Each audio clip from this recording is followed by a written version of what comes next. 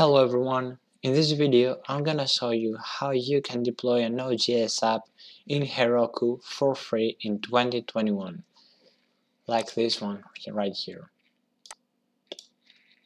Before we start, click the like button, subscribe and hit the bell notification so you don't miss any my future videos. Before we start, if you already have a Node.js app, skip to this time, otherwise follow along. So we will open command line here on our folder, just create a folder and we will do npm init dash y.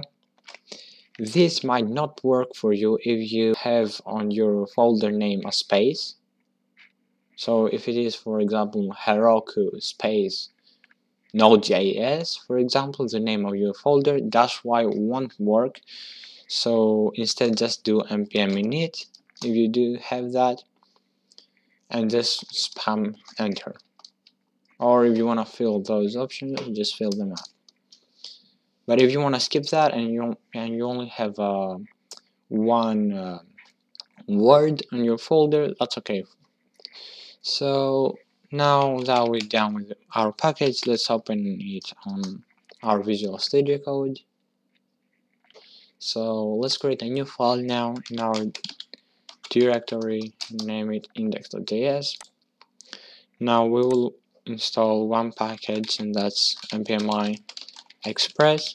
And don't forget to do dash dash save. Otherwise when we will deploy it on Heroku it needs to install the packages. And if you don't do dash dash save it will not know what packages it you want to install for your app so remember when you want to go to production before going on production uh, when you download your modules always do dash dash save and click enter. Now we will do const express equal require. Express and now we need to do um, const up equals express and run run the function express. And now we will create a get a request. So let's do it on the when they visit the page. And now we will give it a function and that function will have a response and request. We will only use a response but just consistency. So now we will do rest on send return um, working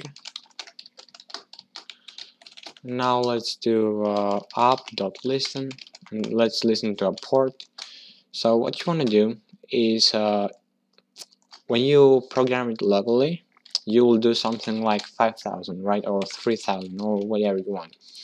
But when you want to deploy it on Heroku, you have to add on the port process.env.port or uh, the port you want to you want to listen to, because uh, Heroku for now might not have a 5000 port empty so you want uh, your app to listen to whatever port uh, there is empty for Heroku. So I think that's it. I don't think we have to do anything else. And now let's move to the part that we deployed on GitHub so first of all go to your GitHub profile now and click new to create a new repository. Now we will name it Heroku for this app but you can name it whatever you want. Now I'll click public I'll leave it public but if you even if you leave it private it doesn't really matter for Heroku. And create a new repository so we will follow the steps step by step but before we do that we want to create a new file and that will be git ignore. And what that does is when we push our files to github uh, sometimes we, we want some folders to not get pushed. And for this app we, we want node modules to not get pushed as we don't want node modules to github and that's it just save the file now let's go back to our folder open command line and follow steps. So first of all we will do git init to initialize uh, git repository. I already did that. As you see it says reinitialized but your will be kind of the same message. So now you do git add and we want to add all the files so do dot. Now we want to do git commit. Let's say first commit. And now git push. No first of all before we do git push I almost forgot. We want to add the git remote. And now git push origin. And in our case we want to do master as we don't want to use a branch to do that. And that's all. So if we refresh the page we should see our app right here. That's great. So now let's go and create a new Heroku account and then upload our code there. So now go to heroku.com and on the top right click sign up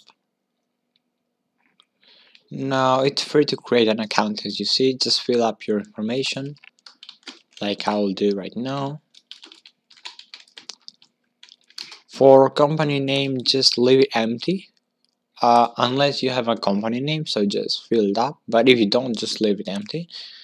Now for role just select what describes you the best. I will select professional developer.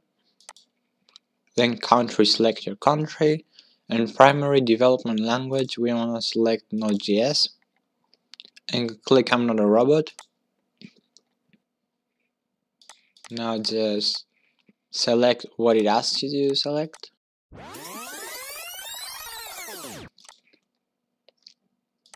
And create a free account. Now they will send you at your email a confirmation email So the emails like this one here, just click the link they'll provide you. And just add a new password.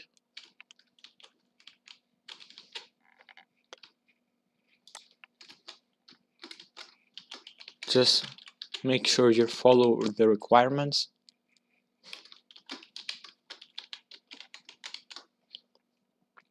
Uh, I don't select this, but if you want to select it, just select that box and set password and login. Now click here to proceed. And you just successfully created a Heroku account. Now we want to fill those information also, so just accept. That's it. So now let's create a new app right here. And let's name it Heroku. This name must start with a lowercase, let's do that. Most of the times the name is not viable if you use something that everyone uses, just put something like that there and choose your region. You can choose between United States and Europe. I'll select Europe and create app.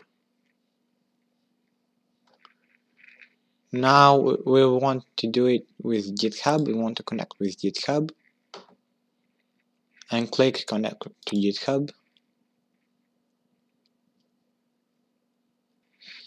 And now we want to select our repository name so that will be Heroku click search and click connect. Now we want to do enable automatic deploys. If you want to do that so what that does is every time you deploy to github it will automatically deploy it on Heroku also. I would like to do that because why not? It's really useful to not click deploy every time. And now click deploy branch to do it for the first time. Because next time if you have selected the automatic deploys it will do it automatically but not the first time. And now we wait for it to deploy. So now as you see we successfully deployed to Heroku. Now click view. And for some reason we got an application error. That's fine. So in order to check our logs we have to go back to our Heroku app go to deploy click on Heroku Git click on Heroku CLI here because we want to download the Heroku CLI now uh, just follow the steps here. If you have Mac OS, Ubuntu in my case I have Windows so I'll just download the 64-bit installer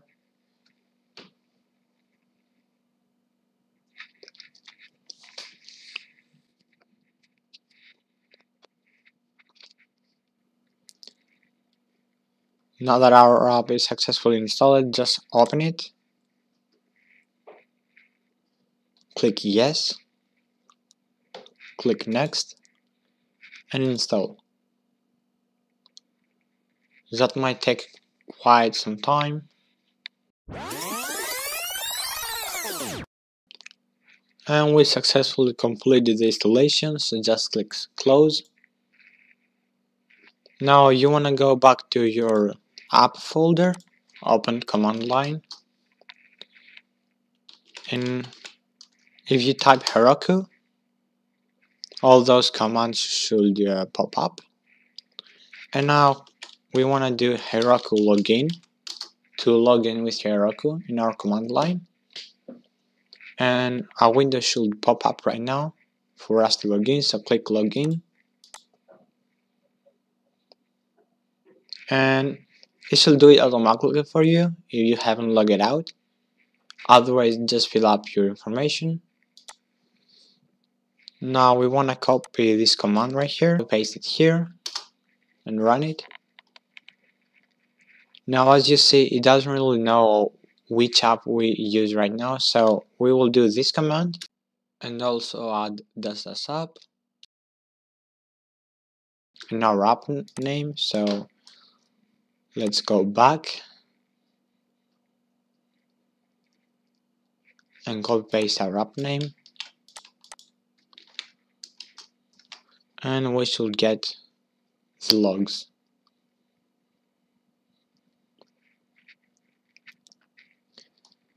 So let's see, missing script start.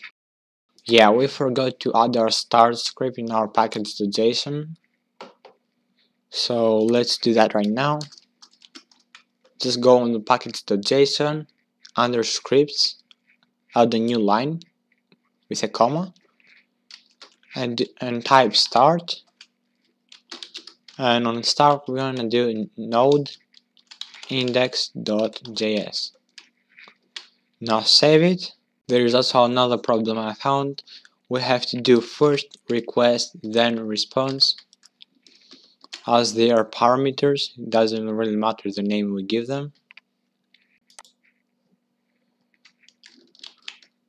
Control C.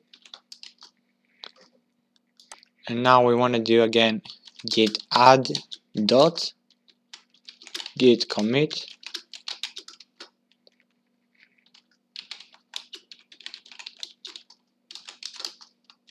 And git push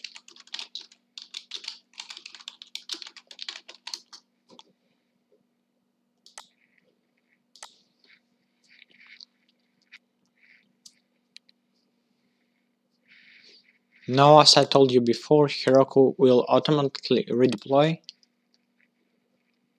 So we don't have to worry about that. But we might have to wait a few minutes to do that. Now to see if our app is working, just scroll up, click open up, and we got a working message. That's great. I really hope you enjoyed this video and I help you out with deploying your app in Heroku. Please let me know if you have any questions or problem that may occur while watching this video.